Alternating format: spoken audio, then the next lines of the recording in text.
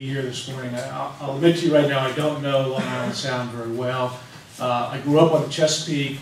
I went to graduate school at URI and spent a lot of years in- on Narragansett Bay. So Long Island Sound was usually just that thing out the Amtrak window, uh, going between home and otherwise. But uh, uh, I I want to thank you all also, I'm just thinking about the mayor's comments earlier on. Um, I want to thank all of you, both the professionals and volunteers, uh, for your service to estuaries and to the coast and to the sound. Um, I have a favorite saying, which is from Dante, and it- says that the hottest places in hell are reserved for those who in times of great moral crisis maintain their neutrality.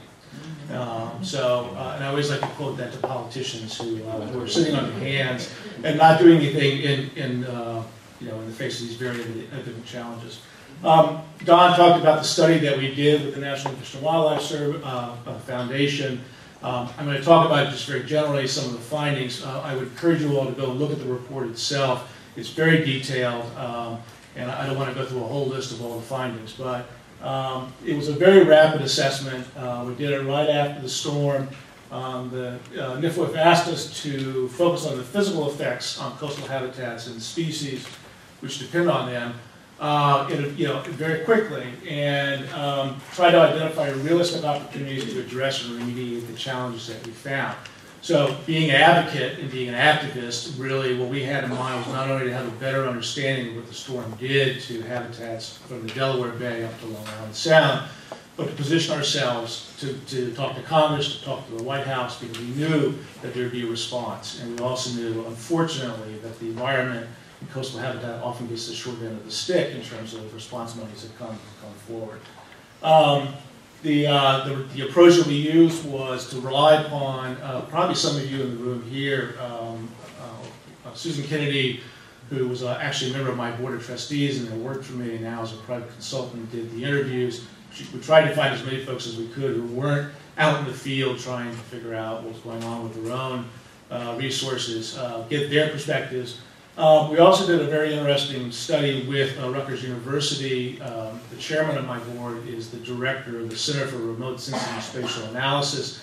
And so he used uh, satellite imagery, remote sensing, uh, the overflights that were done by NOAA and USGS both prior and after the storm to do this analysis of how the resources had changed. And again, we were sort of looking mostly at the physical effects, the physical changes to the habitats um, and then try to you know, prepare summaries of that. Um, so this is these are not great images, but it kind of gives you uh, a sense of how, how it was done. Um, um, and this is available uh, on Rutgers at the CRSSA website. You can look at this and, and, kind of drill down into it a little bit more. Uh, we were also trying to create a database, you know, very, very quickly, obviously, that we hope could be used by, uh, by resource managers and by other folks that are interested in this. Um, so on the on sort of the regional level, um, the findings were pretty much what you would expect, right? Uh, the, most of the impact to the natural features that we looked at, beaches, dunes, tidal marshes, uh, maritime forests, um, occurred on the ocean front, occurred on the beaches themselves.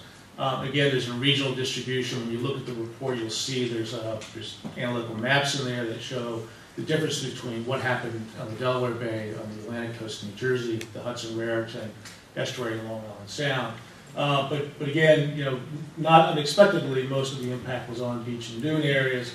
Uh, tidal marshes took a fairly um, good hit, but, um, but also uh, proved to be fairly resilient, which is what we would expect as well.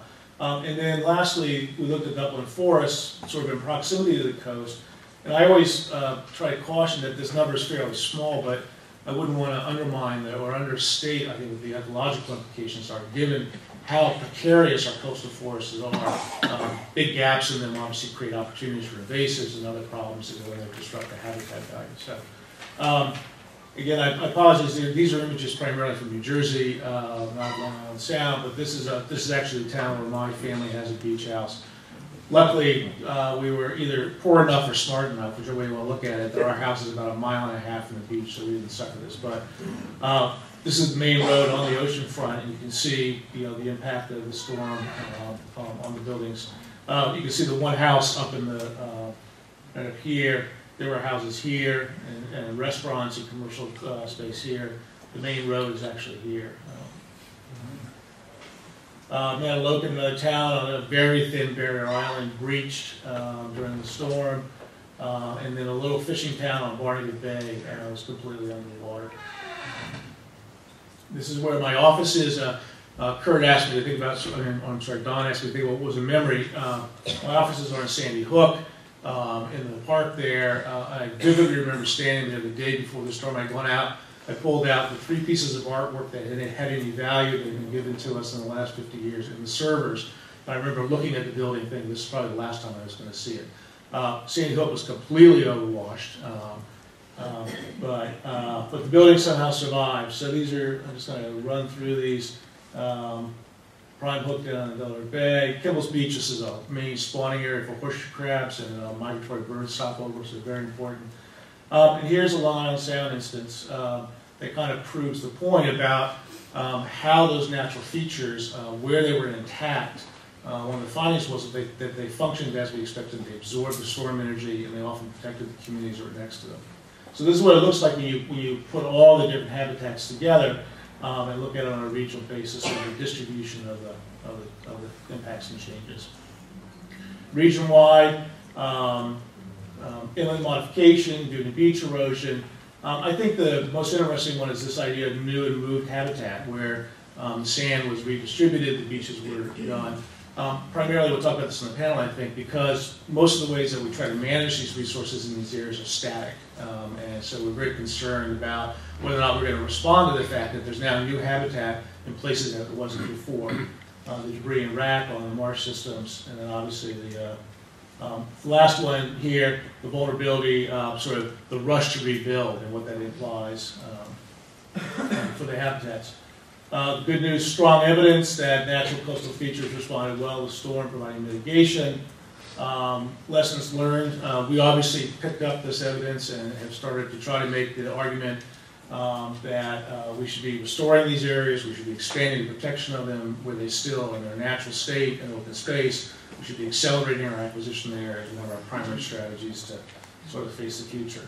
Um, as I said, the, the bad news is that there really isn't a lot of recognition of the creation of new habitat. Um, everybody wants to go back to what it looked like on October 28th and use that as the benchmark. Um, and then, um, again, the rush to rebuild. Uh, people using bulldozers on the beaches to push the sand up to protect the houses that are still there. Um, you know, at the same time, the piping plovers are starting to come back and look for those overwashed areas as habitat. So these are, uh, uh, if you look at the report, there's a very detailed inventory of impacted sites, the data set about the analysis, and then, uh, again, our hope is that we use this information to integrate it into the response, uh, particularly the decisions about where the money's going to be allocated. Um, There are recommendations from the Habitat Work Group um, that we picked up and included in the, uh, in the report. Um, And uh, I thank you for your time.